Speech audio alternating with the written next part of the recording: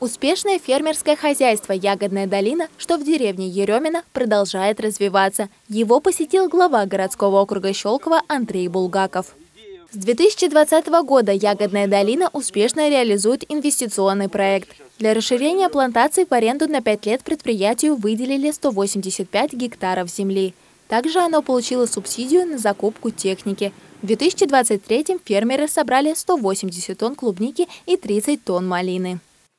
В рамках программы господдержки сельского хозяйства в этом году Министерство имущественных отношений Московской области предоставило хозяйству еще один земельный участок площадью более 22 гектаров, что позволит увеличить количество рабочих мест.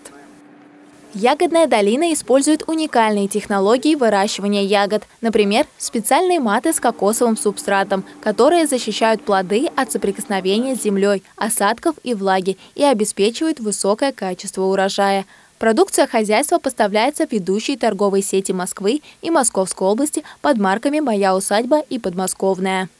На встрече также рассмотрели дорожные вопросы. Администрация поможет с грейдированием подъездной дороги.